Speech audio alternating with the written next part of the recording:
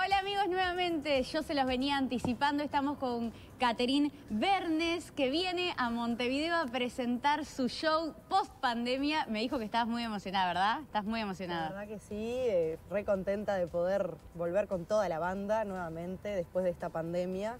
Así que re contentos de estar acá también y que nos den este espacio para poder charlar un rato. ¿Qué pasa con el folclore en Montevideo? ¿La gente fanática, canta, les gusta el montevideano? En mi caso, me, pasa que tengo el público por todas partes del Uruguay. Eh, vamos a ver este jueves también cómo nos reencontramos con la gente. Eh, hemos tenido ya varias fechas por acá, por Montevideo, y hemos probado a, la gente de, este lado.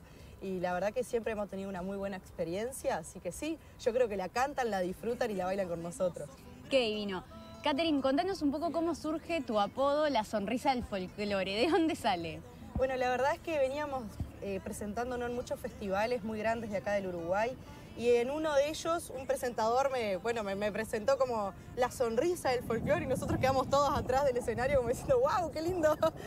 Y cuando entramos estaba re contento de, ese apodo y, ya después como que quedó. Hasta hicimos unas remeras que se llaman la sonrisa del folclore y todo porque, bueno, yo creo que es un apodo también que muestra lo que me sucede arriba del escenario y lo que me sucede cuando estoy con la guitarra, que es estar sonriendo, pero por un hecho de que me causa mucha felicidad estar compartiendo lo que me gusta y, lo que genera también el público en mí, así que por ahí viene el, viene el apodo. Tocar en vivo es totalmente diferente a que hacer música en el estudio, ¿no? Lo que hablábamos recién antes de, salir al aire, la pandemia nos obligó en este momento a cambiar un poco los esquemas.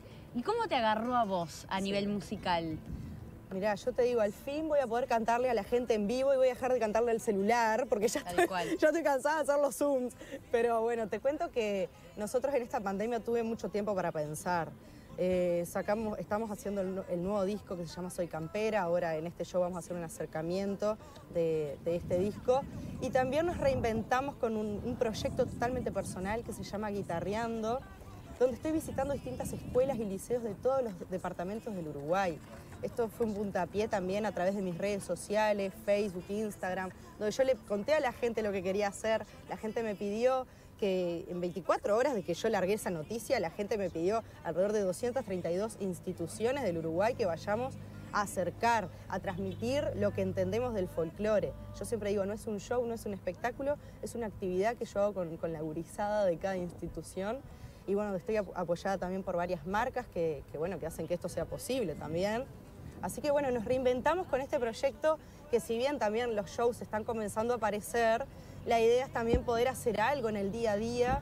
Y bueno, estamos metidos en esto, en el disco, en guitarreando, así que le estamos metiendo lo que se puede para reinventarnos. Kate, recién mencionabas que hacías eh, shows por Zoom en esto de la pandemia, de las nuevas modalidades, y también que cuando publicaste en tus redes sociales, 24 horas después la gente ya estaba como loca pidiéndote que sí, que, que llevaras a cabo guitarreadas. ¿Qué importancia tienen para vos las redes sociales y sobre todo en un momento así? La verdad que son muy importantes y creo que este tiempo lo demostró, que la tecnología es algo a lo que nos tenemos que adaptar. Nosotros trabajamos muchísimo las redes sociales, digo nosotros porque tengo mi productora también, donde estamos viendo los contenidos que vamos a compartir eh, a través de Instagram, de Facebook, donde tengo también un público diferente, viste que, que, en las dos redes sociales como que hay públicos distintos y que quieren consumir cosas distintas también. Así que nosotros usamos las redes sociales Usamos más o menos como, lo que hago arriba del escenario, que es transmitir conocimiento, transmitir folclore, transmitir alegría.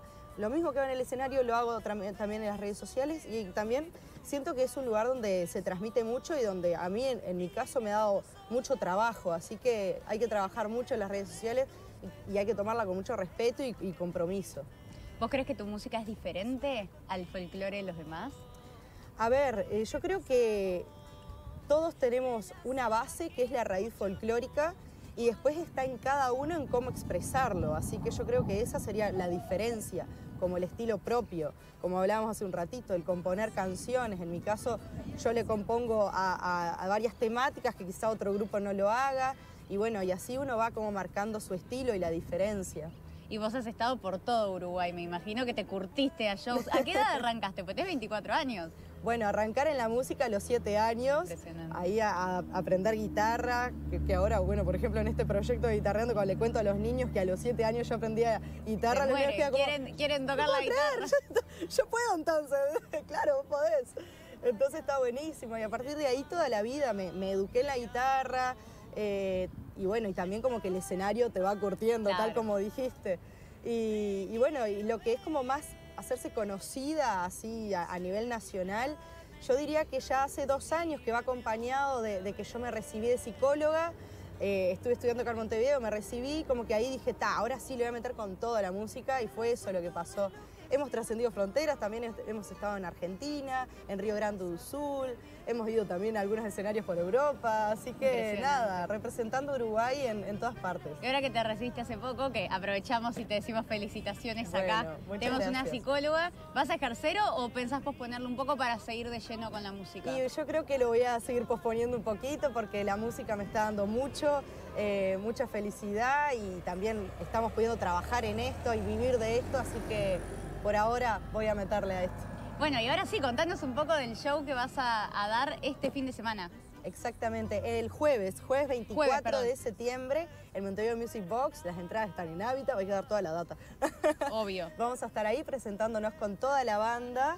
Eh, después de esta pandemia volvemos nuevamente, porque si bien estábamos en verano dando shows y teníamos varios desafíos, teníamos varias fechas para, para, el, para el momento de la pandemia, bueno, está, se bajaron, pero ahora volvemos súper contentos, con todas las ganas, con toda la emoción de brindar un show divertido, dinámico, eh, donde vamos a estar compartiendo folclore, un repertorio de, del cancionero popular y también un repertorio que tiene canciones propias, así que va a ser súper divertido y muy emocionante creo yo para mí y para la gente volver a reencontrarnos. Bueno, que no se diga más, ¿podemos escuchar algo? Vamos a cantar algo. Y nos vemos entonces este 24 de septiembre. Muchas gracias. Ay, voy a afinar un poco porque está con el sol que me quedó. Cosas que pasan, chicos. Esto es tele en vivo. Ahora sí. Ahora ¿Qué, ¿Qué vas a cantar? Voy a cantar una canción que se llama Nací de un río. Es música propia, letra de Sofía García y dice así.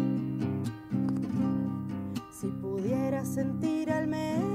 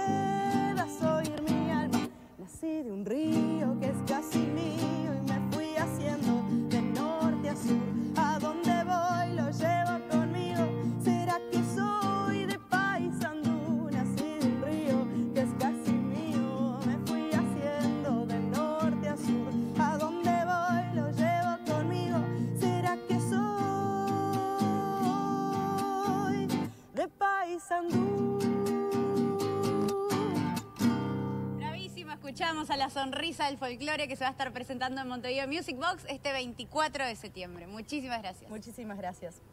Seguimos con ustedes, amigos. Divino, Cami. Muchas gracias. gracias. Divino. La verdad. Siempre es lindo música.